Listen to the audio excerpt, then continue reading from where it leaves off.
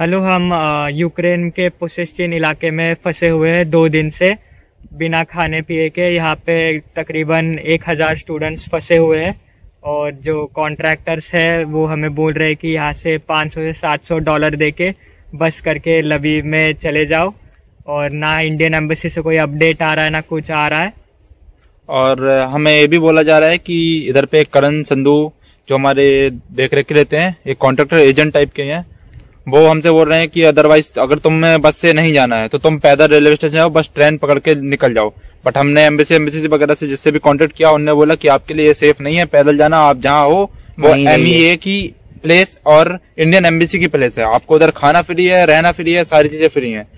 तो इस हिसाब से अब हमें कुछ समझ में नहीं आ रहा हम कहाँ जाएँ क्या करें ये हमें मतलब एक टाइप का फोर्स ही बोल सकते हैं कि हमें कर रहे हैं कि आप ये प्लेस छोड़ो। और थोड़ा इंडियन एम्बेसी के भी मिस्टेक है इधर पे खाने में कोई ऐसा है नहीं जिससे हम थोड़ा अपना पेट भर सकें, बस ऐसे ही मिल जाता है फॉर्मेलिटी के लिए। और हमें हमें सबसे बड़ी दिक्कत ये है यहाँ पे कोई भी मतलब यहाँ पे सब कॉन्ट्राडिक्शन कर रहे हैं कोई कुछ कह रहा है कोई कुछ कह रहा है हमें हमें ना तो कोई क्लियर कट कुछ कह रहा है एम्बेसी भी हमें क्लियर क्लियर कट कुछ नहीं बता रही है।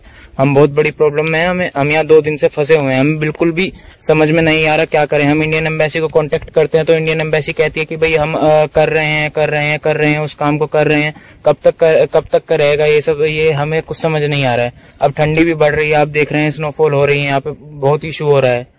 और ये एक हज़ार बच्चों के लाइफ के साथ एक टाइप का खिलवाड़ी हो रहा है उनके पेरेंट्स और एक हज़ार स्टूडेंट्स की लाइफ के साथ। अब बाकी आप लोग इस ज़्यादा वीडियो को शेयर करें जितने से ज़्यादा कर सकते हैं।